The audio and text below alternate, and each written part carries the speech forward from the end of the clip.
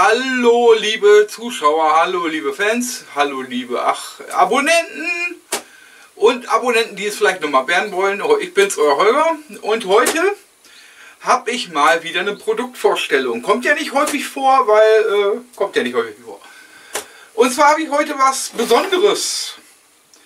Und zwar, ich halte es mal kurz vor die Kamera. Das hier ist der Bestagor Pixel Grill mit Gasfunktion. Den habe ich mir jetzt neu gekauft. Ich werde euch gleich zeigen, wie man den aufbaut. Werde euch da ein bisschen was zu erzählen. Und äh, ich hoffe, ich kann das gut einfangen. Eventuell, ja. Das ist erstmal das, was ich heute mache. Dann gibt es die Tage äh, auch noch mal ein Video dazu, wie ich damit koche und brate und hast nicht gesehen und grille. Ähm, eventuell mache ich heute schon mal eine Tasse heißes Wasser drauf. So. So, dann will ich euch das mal kurz zeigen. Ich hoffe, das ist jetzt alles gut zu sehen. So, die hat eine schöne Außentasche. Hier hat schön Klettverschluss hier. Zieht man die so auf.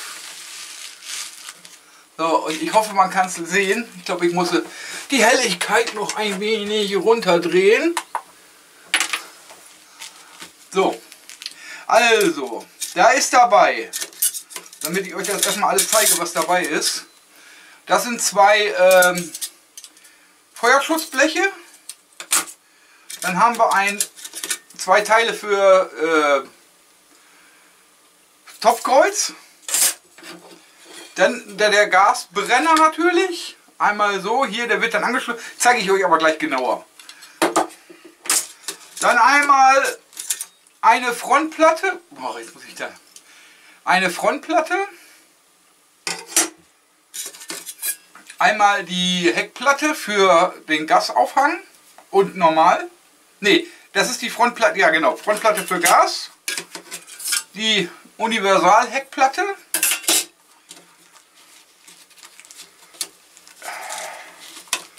muss das nächste hier rauskommen. So, das ist die, das Unterteil ähm, für die, die Kohle, äh, für Kohle und so weiter und Holz.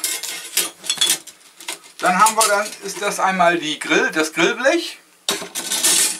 Dann haben wir einmal für zum Kochen. Und dann haben, ah, gehe so schwer raus hier. Ich habe sie jetzt schon einmal benutzt zwei Seitenteile und einmal das Unterteil, wo alles drauf steht, mit auf Füße zum Aufklappen. Gehen noch etwas schwer. So, das Ganze stellt man so hin und gut ist. Das kommt gleich, das lasse ich jetzt schon mal aufgeklappt. Dann ist hier einmal komplett, ich drehe es mal um, dann könnt ihr das besser sehen die Bedienungsanleitung mit dem, was alles dabei sein muss. Und das Gute ist, das ist so eine Art LKW-Plane. Das heißt, es ist gut eingepackt. Hier so einmal die E-Mail-Adresse, äh, die Web, Web, Webadresse. Ich werde euch das auch nochmal verlinken. Hier unten ist die Bauanleitung, wie man es zusammenbaut. Und das zeige ich euch jetzt. Dafür muss ich jetzt die Kamera aber gleich wieder umdrehen weil das kann ich euch von oben nicht zeigen, das ist zu gefährlich. So, packen wir das mal kurz zur Seite. Aber erstmal zeige ich euch noch das Unterteil. Also das Unterteil steht so. So, jetzt seht ihr das hier, jetzt kann man es auch gut erkennen. So, als erstes nimmt man ein Seitenteil. Hier sind extra so kleine Löcher drin, hier unten und hier an der Seite und hier und hier. Packt das Ding hier so rein. Fertig. Dann das zweite braucht man noch nicht. Jetzt braucht man das Heckteil. Das ist das hier. Das kommt hier hinten. Einmal kurz anheben, einstöpseln und rein. So. Man sollte jetzt normalerweise das hier nehmen. Ich habe für mich selber festgestellt, ich nehme den Gasbrenner, fädel den schon mal ein. Ich nehme jetzt die unterste Schiene, nein, die obere Schiene die führt man, könnt ihr das sehen, so hier durch. So, dann, ich habe es jetzt hier eine oberste, das ist halt nicht zum Grillen jetzt. So, legt die erstmal lose drauf, die kann auch ruhig ein bisschen schräg hängen, das macht nichts. So, dann das Hinterteil einfach von oben nach unten einfügen. Das andere Seitenteil, Entschuldigung, nicht Hinterteil. Wir sind hier ja nicht... Äh, so, und dann das Ganze bisschen schräg stellen. So, einhaken und zack, drinne. So, und dann ist der Brenner auch schon drin. Jetzt habe ich natürlich was vergessen. Dann muss man noch die beiden Gasprallbleche oder Feuerschutz oder ja, keine Ahnung, wie man das nennt. Die werden ein bisschen eng hier. Hier oben einfach so. Na, komm her. So.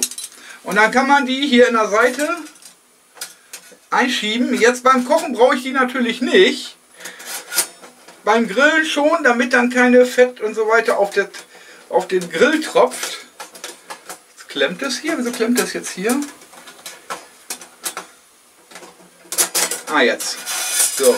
Ja, das ist am Anfang, man muss ihn erst so ein, zwei Mal aufgebaut haben. Ähm, so.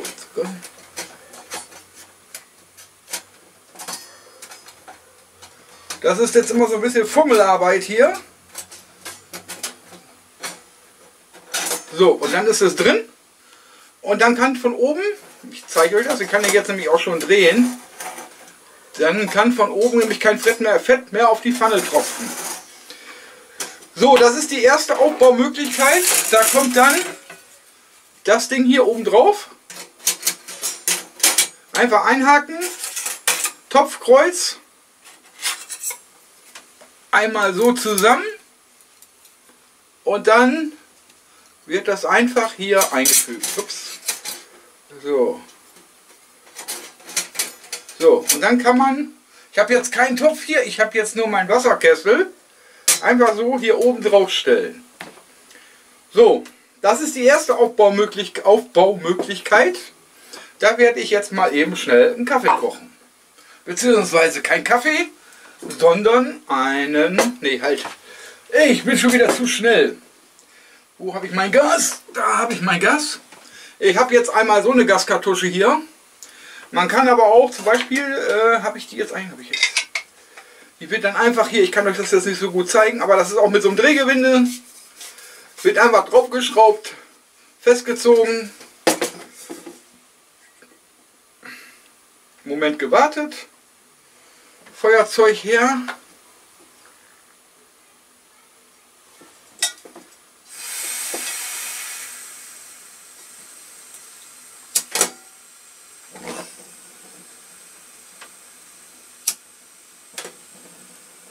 So, jetzt kann ich euch das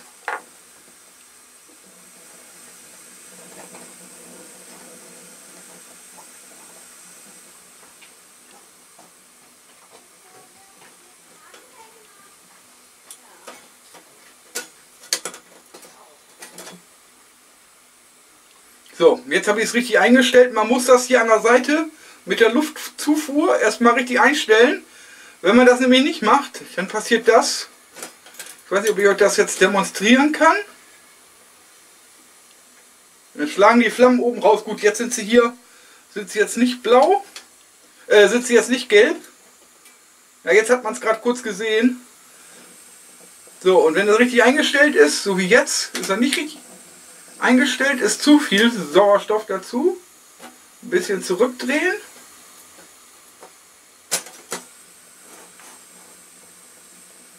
Ja, noch ein bisschen viel. So, es ist jetzt richtig. So, dann kann man seinen Topf oben drauf stellen.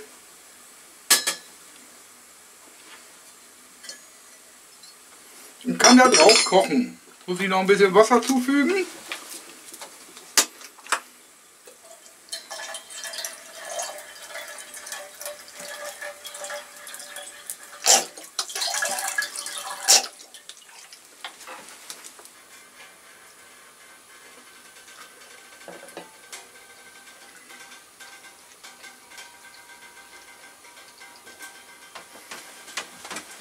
und stell den Kessel erstmal wieder weg.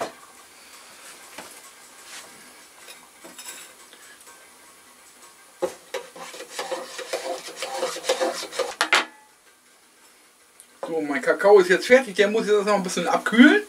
Der hier auch, deswegen geht es gleich weiter. Ich mache so lange mal aus. Jetzt erstmal Prost. Oh, die Mischung ist stark. So, ich nehme jetzt mal das Topfkreuz runter hier. Äh, ich habe jetzt leider keinen weiteren Topf hier, um euch das zu zeigen. Jetzt kann man das Blech hier wieder runternehmen und das Ganze austauschen gegen das Grillblech. Ne, jetzt ist wieder... So, so ist das Grillblech. Blech, oh, das Grillgitter, Grillblech drauf. Ich werde mir aber dann noch ein bisschen was anderes machen. Nehme das jetzt erstmal wieder runter. Weil das gibt es dann im nächsten Video. Da gibt es dann noch was zu sehen, wie ich dann äh, drauf grille. Heute leider nicht, ich habe kein Grillgut da. Und bisher, und das Fazit dazu, das gibt es auch erst im nächsten Video. Aber dafür bauen wir das Ding jetzt erstmal ab. So. Mal ihr aus? Und dann nehmen wir. Dann jetzt zwei aus. Und sehen wir, viel Jetzt werden wir aufbauen. So, dann kommt paar Sachen rein. Dann packen wieder rein. Das. Dann kommt die Dann der Korb drauf. Dann ja. Dann kann. Nicht wieder drauf. Anziehen. Und das Gute ist, man kann alles in eine Spülmaschine packen. Das ist alles spülmaschinenfest. So, zuklappen. So, umdrehen. So, das ist das. Dann kann man nämlich das Ganze hier wieder lösen.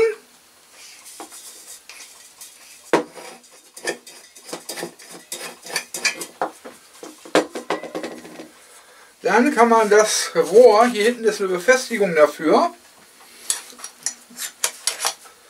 so, Klettverschluss, zack, und hat das Gasrohr auch noch mit hinten an befestigt.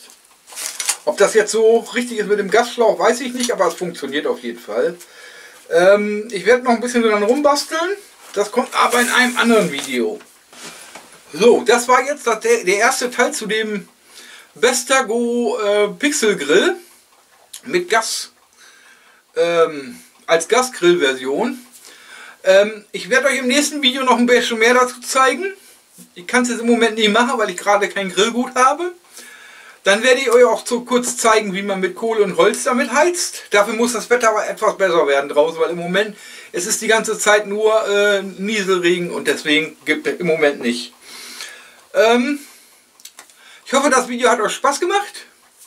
Wenn ihr mehr Videos sehen wollt, drückt die Glocke. Vergesst nicht zu kommentieren. Schreibt mir auch in die Kommentare, was ihr davon noch mehr sehen wollt. Dann werde ich darauf eingehen. Und ähm, drückt die Glocke, bla bla bla. Genau. Und wenn euch das Video gefallen hat, lasst einen Daumen nach oben da. Wenn euch das Video nicht gefallen hat, macht, dann drückt er leider ähm, mag ich nicht. Und das wäre es eigentlich schon für heute. Tschüssikowski, euer Holger. Prost.